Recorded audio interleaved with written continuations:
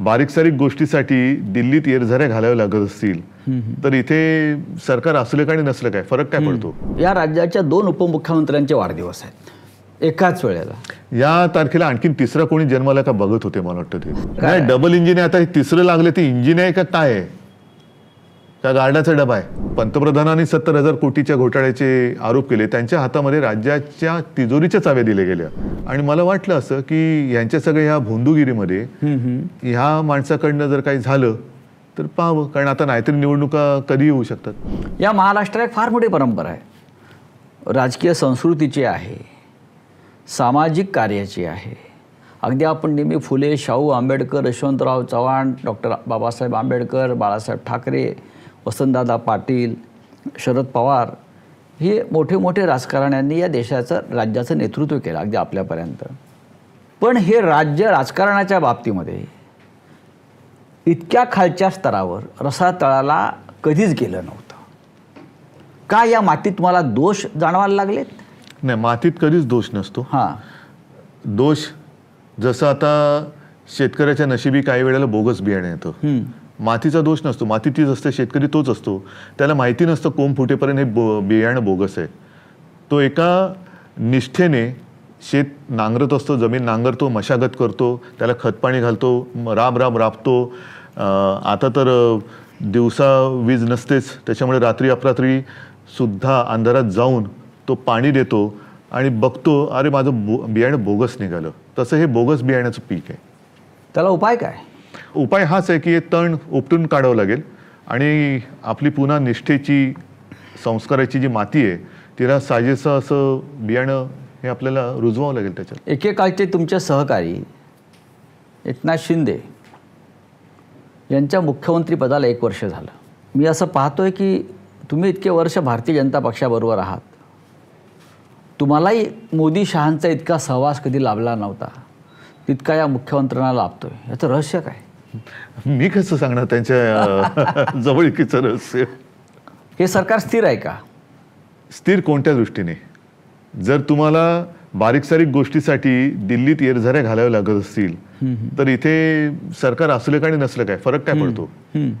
आणि इथले मुख्यमंत्री जेवढे मी पुन्हा पुन्हा मणिपूर मणिपूर मणिपूर का बोलतो? कारण आता मला भीती वाटायला लागलेली की मणिपूर आपल्या देशाचा एक घटक आहे. तो तुटतोय की काय? आणि तिकडे सुद्धा हे डबल इंजिन डबल इंजिनचा जो काय बोजवारा उडालेला आहे दोन्ही इंजिन फेल गेलेत. उद्धवजी मणिपूर हा विषय गंभीर आहे. कालपर्यंत जम्मू काश्मीर हा विषय गंभीर होता. त्याच्यात आणखीन ऍड झालं. आता दोन राज्य पेटत आहेत आणि दोन राज्यामध्ये एकाच वेळेला अस्थिरता आहे. काश्मीरमध्ये तर गेली सहा वर्ष निवडणुकाच नाही झालेल्या. या सरकारला निवडणुका घेण्याची कुठेच इच्छा दिसत नाही आणि बरोबर म्हणूनच मला असं वाटतं की दोन हजार चोवीस हे साल आपल्या देशाच्या आयुष्यातला आयुष्याला एक वळण देणारं वर्ष असेल. कारण दोन हजार चोवीसला जर का हे सरकार पुन्हा आलं तर मला नाही वाटत परत या देशात लोकशा लोकशाही म्हणून जिवंत राहील आणि निवडणुका होतील. नाही मगाशी आपला एक विषय अर्धवट राहिला थोडासा की केंद्र सरकार म्हणजे मोदी शहांचं सरकार असं आपण मानता का? नाहीतर कोणाचं? कारण आपण नेहमी निवडणुका आल्या की ते एनडीएचं होतं. निवडणुका झाल्या की ते मोदींचं होतं. कारण या राज्यात किंवा देशामध्ये सध्या ज्या काही घडामोडी सुरू आहेत या फक्त मोदी शहांच्या नावानं सुरू आहेत.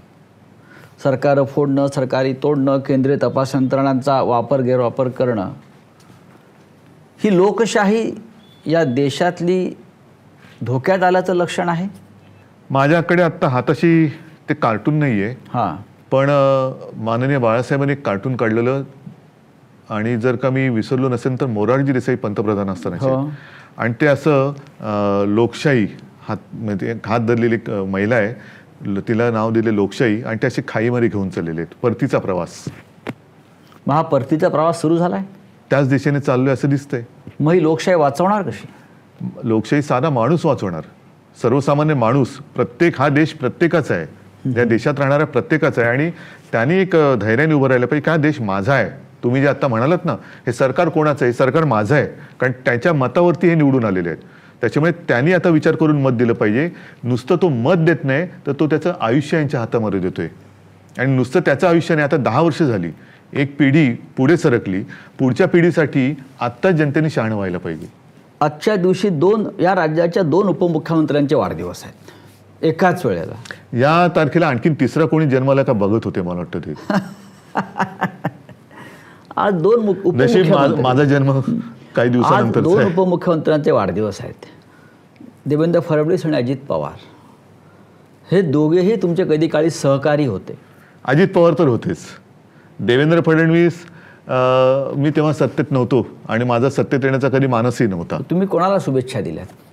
मी आज दोघांनी फोन तसे करता आलेले नाहीत मला कारण मी सकाळीच ईर्षाळवाडीला तिकडे गेलो होतो.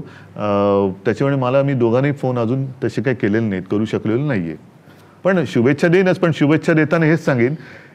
शुभेच्छा केवळ माझ्या नाही तर जनतेच्या म्हणून मी तुम्हाला देतोय. आणि त्या सत्कारणी लावा. खुर्चीच्या मोहापायी त्या खुर्चीखाली जनता चिरडली नाही जात आहे एवढंच बघा.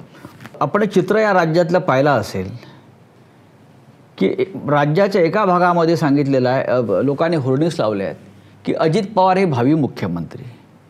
आणि विदर्भातल्या काही भागात होर्डिंग्स लागलेले आहेत की देवेंद्र फडणवीस हे भावी मुख्यमंत्री.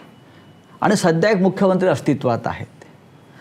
या राज्यामध्ये भावी मुख्यमंत्र्यांचं सुद्धा पीक आलं आहे का बोगस बियाण्यांप्रमाणे? ज्याची त्याची स्वप्न ज्याला त्याला लख लाभो. माझा जो विषय आहे तो माझ्या सर्वसामान्य जनतेच्या स्वप्नाचा आहे. त्याला मुख्यमंत्री पदाशी वगैरे काही देणं घेणं पडलेलं नाही आहे त्याला आजचा दिवस गेला उद्याचा दिवस कसा जाईल ही एक चिंता आहे.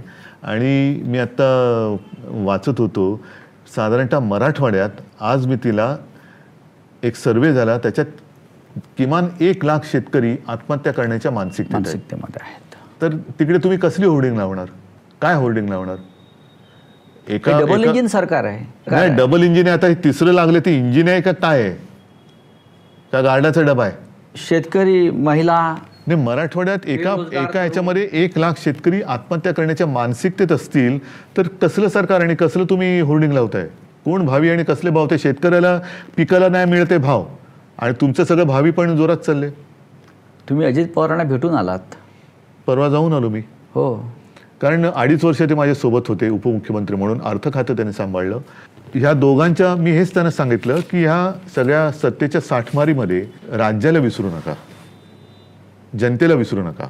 अर्थ खातं म्हणजे राज्याच्या म्हणजे एक बघा ज्यांच्यावरती पंतप्रधानांनी सत्तर हजार कोटीच्या घोटाळ्याचे आरोप केले त्यांच्या हातामध्ये राज्याच्या तिजोरीच्या चाव्या दिल्या गेल्या. मग आरोप खरे का अजित पवार खरे? तुम्हाला काय वाटतं? ज्याने आरोप केले त्यांना विचारायला पाहिजे.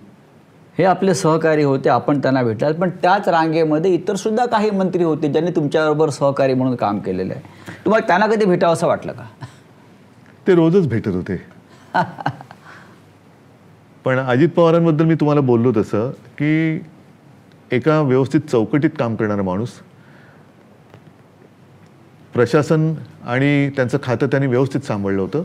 आणि मला वाटलं असं की यांच्या सगळ्या ह्या भोंदूगिरीमध्ये ह्या माणसाकडनं जर काही झालं तर पाहावं. कारण आता नाहीतरी निवडणुका कधी येऊ शकतात.